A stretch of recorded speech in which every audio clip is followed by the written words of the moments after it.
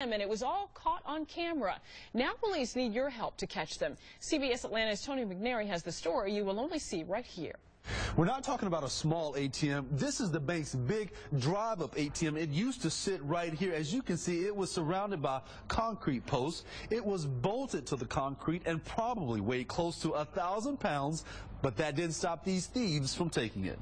It's not something you see very often, but this bank's ATM heist was caught on camera. It's rare because they are so big, and you need a piece of construction equipment to pick these things up. It happened Thanksgiving Day around 3 in the morning at the Hamilton State Bank in Braselton. Some crooks were caught on camera stealing the bank's big drive-up ATM.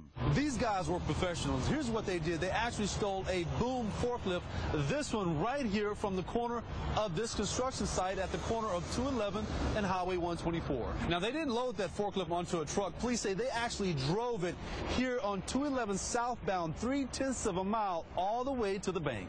Very frustrating, you know, because uh, officers are riding around at 3 o'clock in the morning, nobody saw anything, and here you have this huge piece of construction equipment driving down the road, and people are oblivious to it. The truck has very distinctive paint chips on the hood. It's a late 90s to early 2000 Chevy pickup. Police are counting on you to help them solve this case. We're hoping that maybe they recognize the truck, maybe they recognize, you know, uh, the MO as far as hitting the ATMs. Um, we know we've had some ones um, in Atlanta, and we also had one prior to this a few years back that was the same similar thing, try to pick it up with a construction equipment, but they knocked it over, couldn't get it back up. The police are hoping someone saw this Chevy truck with an ATM in its bed or a big construction equipment rolling down 211 around 3.30 Thanksgiving morning. If you did, call Crime Stoppers. That number is 404-577-TIPS. Your information, if it leads to an arrest, you could receive a $2,000 reward. In Braselton, Tony McNary, CBS Atlanta